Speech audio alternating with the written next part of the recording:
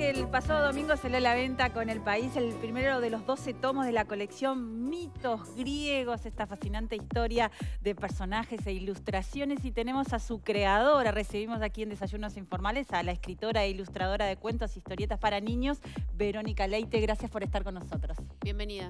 Muchas gracias por la invitación, un placer estar acá con ustedes. Muchas gracias. Igualmente. Tenemos todo el material sobre la mesa, ya vamos a estar mostrando y viendo por acá este, este libro que nos decías, el azul, ¿tienen el azul? ¿Este es el primero? ¿El segundo?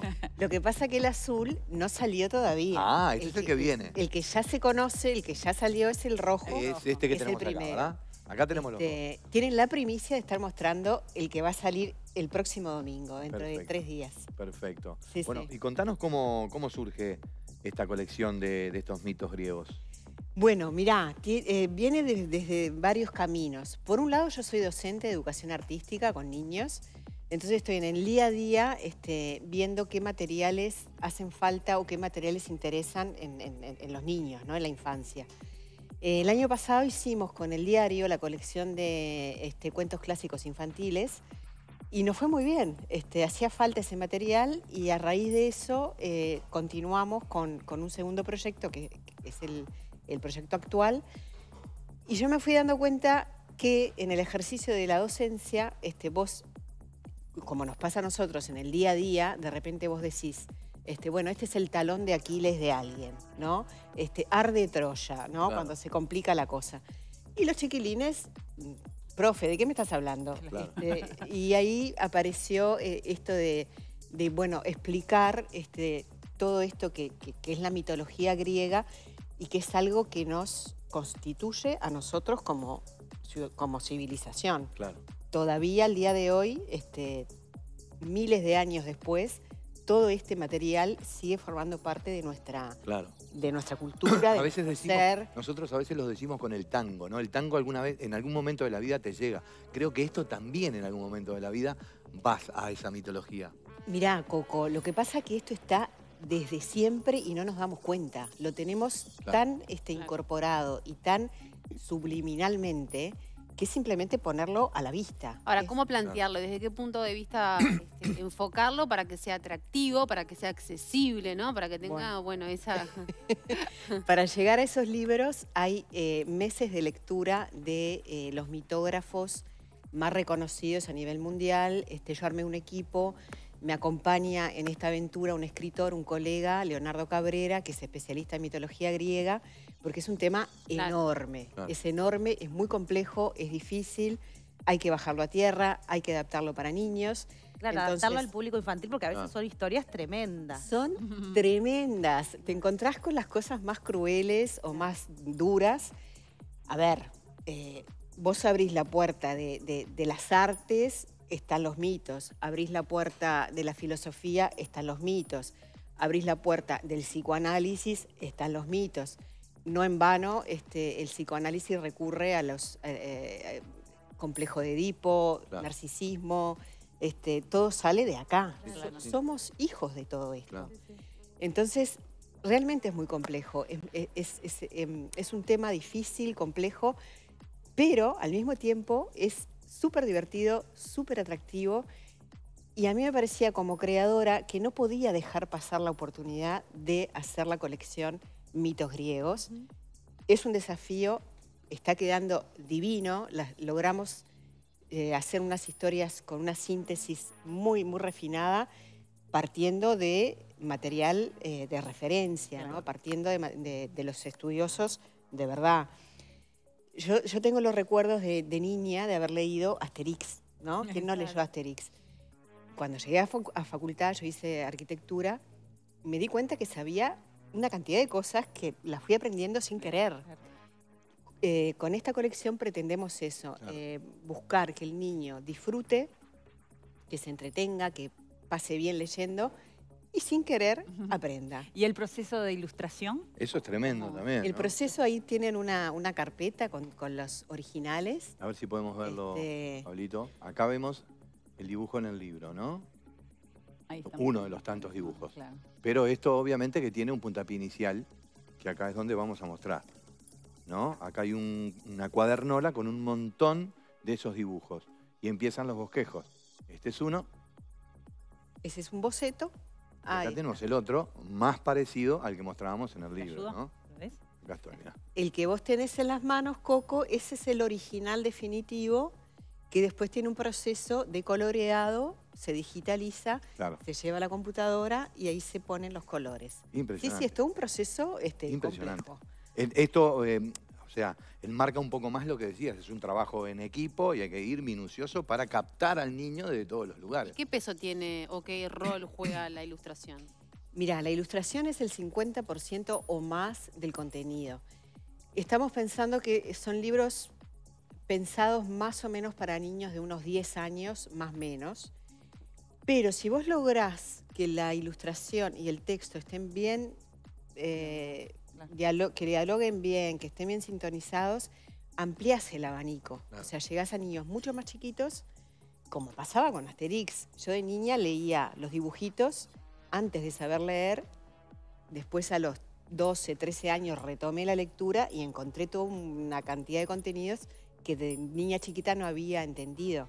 Acá va a pasar lo mismo, el niño muy chiquito va a ver los dibujos, se va a sentir atraído por el material y el más grande, el que ya tiene lectura autónoma, va a encontrar mucho más contenido eh, complementario al dibujo, se complementan, es un diálogo. El dibujo dialoga con el texto. Y si ustedes miran los libros, cada par de páginas tiene texto por un lado y dibujo por otro, ¿no?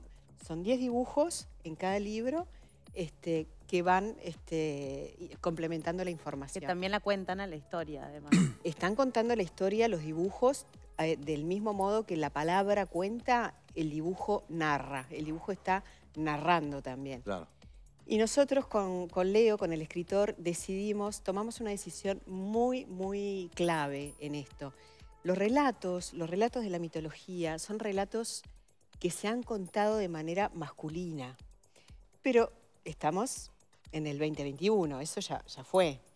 Entonces decidimos poner, ir alternando los títulos con los personajes femeninos de la mitología griega. Entonces vas a encontrar un título, el primer título está dedicado a Hércules, Hércules el Magnífico, que es la figura más importante de los mitos. Y el segundo título ya viene Hércules con la diosa, los desafíos de la diosa. Esa diosa es Hera. Hera es la, la esposa de Zeus, es la máxima figura del Olimpo. Y así vamos, en los 12 títulos vamos alternando una figura masculina con una figura femenina. El dibujo que vos mostraste, eh, Coco, es Atenea. ¿Y quién era Atenea? Atenea era la diosa de la sabiduría y de la, em, la defensora del- de lo femenino, que en el siglo XX se retomó con los superhéroes. ¿Quién, ¿Qué superheroína podría ser Atenea hoy? La Mujer Maravilla. Mujer Maravilla. La Mujer Maravilla.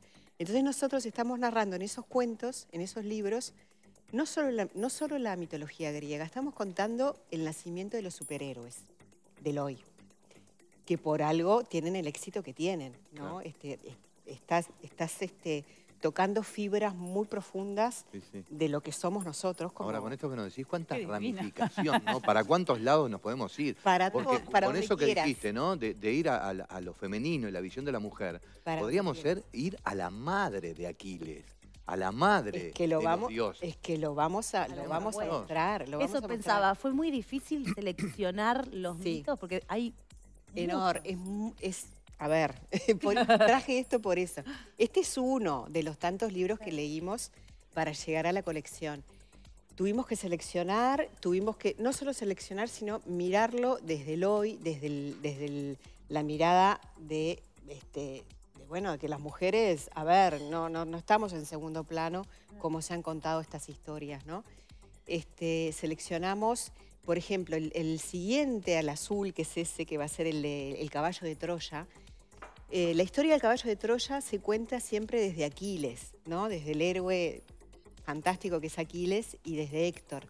Nosotros decidimos contarlo desde Helena, Helena de Troya, que es la mujer más bella de la mitología y es la que desencadena la guerra de Troya. Entonces pusimos la mirada en lo femenino y además, Coco, vos que tenés el libro en la mano, mostrá la primera página este, cuando, cuando empieza el libro, las, una más, ahí mostramos la frase, a ver, eh, la anterior a esa, mostramos la frase, esas frases que, a ver, las, ahí, esa. Eh, un trabajo titánico ponemos, por ejemplo. Eh, ahí ponemos las frases esas que, que están en el día a día, en, en nuestro vocabulario, y las explicamos, y explicamos por qué un trabajo titánico de dónde viene esa frase, ¿no? De los titanes, de Cronos, de Zeus. Este, en, en cada libro va a haber una frase del día a día. Este, el- en, en el tercero, en el de Troya, sucedió algo muy curioso, es una anécdota de la colección. Hablamos de los virus troyanos. ¿Qué son los, virus- los virus troyanos? Un virus troyano es el virus que se te mete en la computadora y te destruye todo lo que tenés Claro. en Sí, tu computadora. Los soldados estaban adentro del, del caballo, claro. Adentro del caballo de Troya, de por eso Troya. se llaman virus troyanos. Claro. Da la casualidad, la- la- la- lo azaroso de la vida, este, nunca en mi vida tuve un virus en mi computadora. Estaba haciendo ese libro, me entró un virus en mi computadora. Qué anécdota. No me, pre- no me pregunten por qué. Sucedió y es real. Este, entonces, la persona que vino a rescatarme en plena entrega del trabajo, bueno, es una amiga, me recomendó un este, especialista en, en- en- en- en cuestiones tecnológicas y le dediqué el libro a, a todo ese equipo de gente que me rescató este, con un virus troyano, justamente. Verónica, ya salió el primero de los 12, de los 12 eh, capítulos, pero eh, si no pudieron Sí. acceder a él, pueden lo, pueden conseguir por algún lado, de alguna forma, para Hay aquellos que quieran tener toda la colección, ¿no? Hay muchas maneras de acceder. Está la clásica, eh, la clásica vía que es la del kiosco. Ajá. Y también creo que van a poner, ustedes van a poner, este, si tú buscas en, en- en internet, allí Sí. debe, debe aparecer la promo, pero en la promo están las, las vías de, de, de acceso al Ah, libro, perfecto. que son varias. Hay una vía telefónica, hay una vía web. Si tú pones en, en internet eh, mitos griegos, Verónica Leite, mitos griegos, El País, mitos griegos, colección, eh, con, una de estas Genial. palabras te va a saltar cómo este, podés acceder desde tu casa. ¿no? Después de la pandemia ya nos acostumbramos a comprar Claro. desde Sí, casa. Este, entonces tú pones eso en la compu y te va a aparecer la manera de encontrar la, la colección, que te la entreguen en tu casa sin necesidad de, de salir a la calle, de exponerte, como, de la manera más cómoda posible. Impecable. Bueno, Verónica, Felicitaciones. Gracias. Muchas Muchas gracias, muchas gracias. Gracias por recibirme y bueno, y los este, espero a los lectores, este, estamos en redes, nos podemos comunicar, a mí me mandan fotos. Para las este, devoluciones. las devoluciones, la conversación, que es la- lo más lindo. Lo más lindo. Gracias, Verónica. Gracias. A ustedes, muchas gracias. Vamos al resumen de Pone Play. A ver.